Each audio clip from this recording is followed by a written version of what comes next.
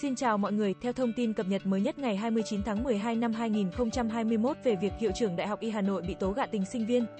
Nhà trường nói gì, sự việc lãnh đạo Đại học Y Hà Nội bị tố cáo gạ tình với sinh viên đang gây xôn xao dư luận. Nhà trường nói gì về sự việc này? Trên mạng xã hội đang lan truyền thông tin tố hiệu trưởng Đại học Y Hà Nội giáo sư tiến sĩ Nguyễn Hữu Tú có hành vi không đúng chuẩn mực nhà giáo. Người tố cáo nặc danh trên mạng tự nhận là một nạn nhân bị ông này tán tỉnh gạ tình. Theo cô gái này trình bày, trước đây cô là sinh viên Đại học Y Hà Nội từng được người giáo viên này hướng dẫn khóa luận tốt nghiệp. Tuy nhiên trong quá trình giao tiếp thầy trò cô này nhận được nhiều lời tán tỉnh gạ gẫm.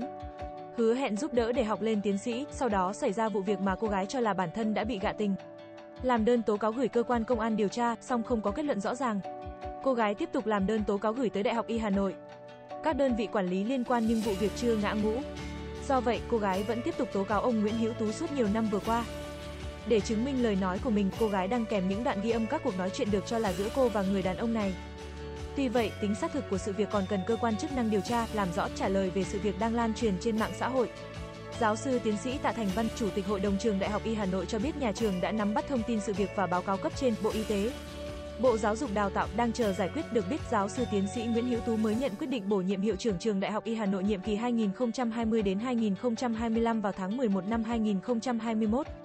Thời gian vừa qua, ngành giáo dục đặc biệt là giáo dục đại học liên tục xuất hiện một số thông tin tố cáo nặc danh nhắm vào các hành vi lệch chuẩn. Tha hóa đạo đức của các thầy giáo, trong đó đa phần là việc thầy giáo gạ tình quấy rối nữ sinh.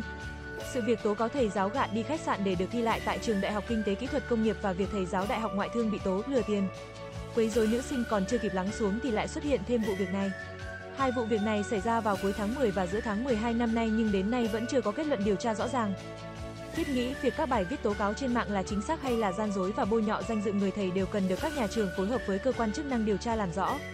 Tránh để ảnh hưởng nặng nề tới danh dự của các nhà giáo, mặt khác cũng trả lại môi trường học tập trong sạch. Lành mạnh cho người học lời nói sau cùng cho kết thúc thông tin vừa cập nhật trên, mong mọi người hãy chủ động phòng.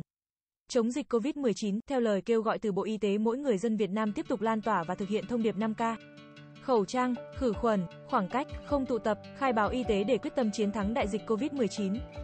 Kênh thông tin New 247 luôn luôn chia sẻ những thông tin mới và hữu ích mọi lúc mọi nơi, hãy follow page, like video và chia sẻ với mọi người để cập nhật những thông tin mới nhất. Xin chào tạm biệt và hẹn gặp ở những video tiếp theo.